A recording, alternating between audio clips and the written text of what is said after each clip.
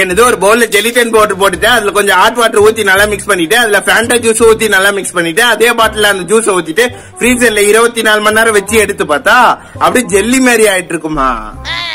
Fanta juice இருக்கு ஜெலிட்டன் powder இருக்கு. Try பண்ணி பாத்துருமா இப்ப பவுல்ல ஜெலிட்டன் பவுடர் போட்டு ஹாட் வாட்டர் ஊத்தி நல்லா மிக்ஸ் பண்ணிக்கலாம்.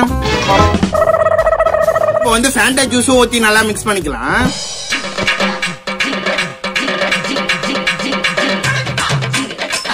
நல்லா மிக்ஸ் பண்ணியாச்சு. இப்போ வந்து பாட்டில்ல வந்து ஜூஸை வந்து ஊத்திக்கலாம்.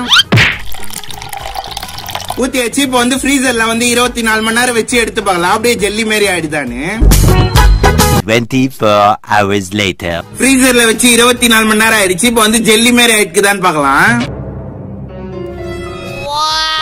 இங்க பாருங்க ஜெல்லி மாதிரி வருது பாருங்க. சாப்பிட்டு பார்க்கலாம் எப்படி இருக்குன்னு. வாவ் சூப்பரா இருக்குங்க.